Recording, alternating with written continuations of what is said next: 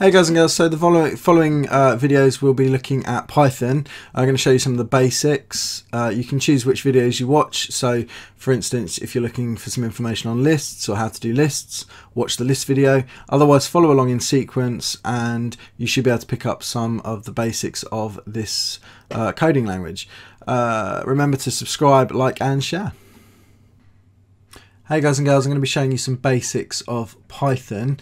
I'm using the standard Python idle. You can get some other uh, better editors such as PyCharm, but I'm going to stick with the idle for this video series. Uh, I will show you how to use PyCharm at a later date and the benefits of using an editor such as that. We're going to start off by importing some modules. Modules are pre-built elements that you can import into Python and help you do different things. For instance, import random is a random number generator.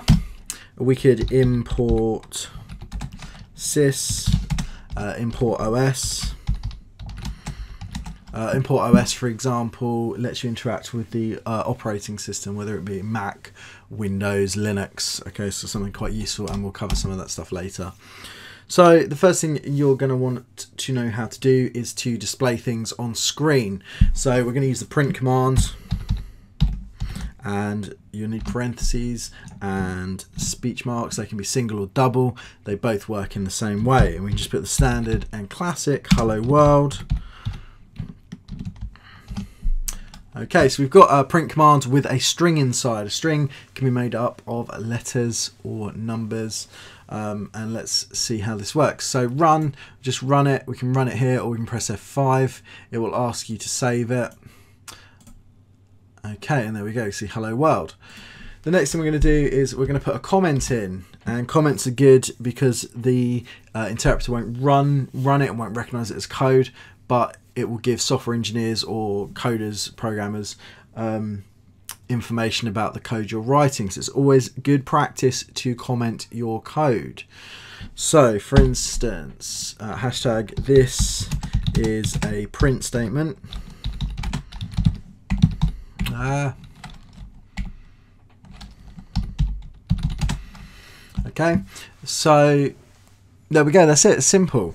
The next thing we're going to do is you might want to do a multi-line comment. Multi-line comments um, just helps keep things a little bit neater. So rather than having a, a long comment that spans uh, the width of your, your window, we can just put in a multi-line comment. And to do that, we use three single quotations and then just write your multi-line comment.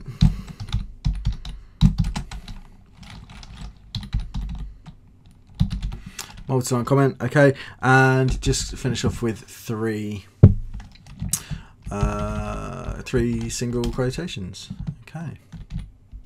So there's multi-line comment. Uh, we're going to create a variable. Uh, variables are like boxes that store things.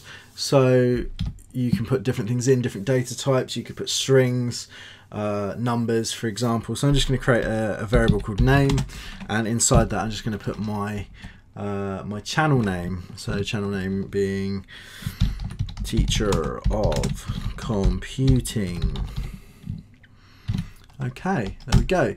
Um, you can reassign values of names. So at the moment that is teacher of computing and later on we could rejig this to contain a number.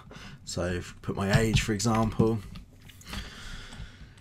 There we go. So if we want to print this out, after name equals my channel name, we could uh, put in print, open the parentheses, and just put the name of the variable, which is name. So let's run that. Hello world, teacher of computing. Okay, so let's see if it did reassign, and to do that, all you do is print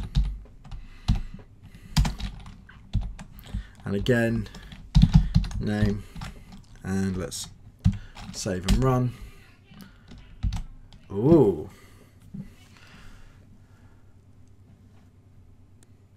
So as you can see that didn't work and it's because I'm an idiot and I've put in equals. I'm not assigning anything, I'm printing a variable. So print name. Ah. Okay, let's run that and see what happens. There we go. So it's reassigned it and it's working. So you can see down, you can see that we've now got hello world and it's printed the first uh, teacher computing because it's been assigned. It's then reassigned the value to the number 32 and we've printed it out again. So as you can see, uh, print statements, uh, quite easy to use. We're going to be talking about some data types over the next few lessons and we're going to be looking at the five main data types and they are number, uh, lists, strings, uh, tuples, dictionaries, um, or maps. You might refer to them as maps or heard them called maps before.